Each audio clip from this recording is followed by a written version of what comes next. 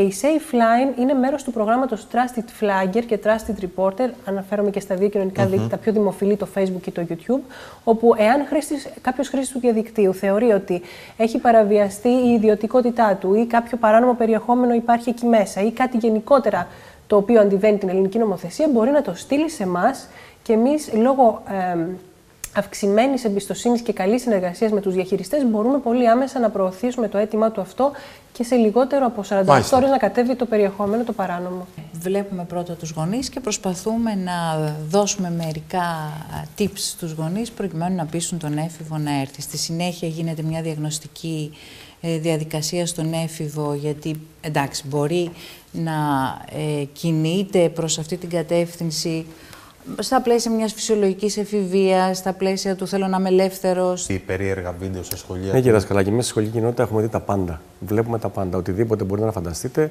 έρχεται η στιγμή που θα το δούμε. Γιατί είναι μια, ένας μικρόκοσμος που αποτελείται από όλη τη σημερινή νεολαία. Όλα αυτά που αντιμετωπίζει η ελληνική οικογένεια και η ελληνική κοινωνία γενικότερα, εμείς το ζούμε μέσα σε ένα σχολείο. Οπότε Προφανώς βλέπουμε τα πάντα. Οπωσδήποτε να ε, γνωρίζουν οι γονείς και να μιλήσουν στους γονείς τους ε, πάνω στο συγκεκριμένο πρόβλημα που δημιουργείται και πολύ διακριτικά πραγματικά να προσπαθήσουμε να λύσουμε τέτοια προβλήματα που προκύπτουν δυστυχώς καθημερινά. Το διαδίκτυο ε, είναι ένας χώρος που πραγματικά είσαι ευάλωτος γιατί μπορεί να γίνει ένα κακόβουλο σχόλιο που μπορεί να μην έχει βάση, μπορεί να είναι εντελώς ε, ανεδαφικό, να μην στηρίζεται σε επιχειρηματολογία και είσαι στη δύσκολη θέση όταν γίνεται στον τοίχο σου αυτό, από ευθυξία να μην το, να μην το σβήσεις.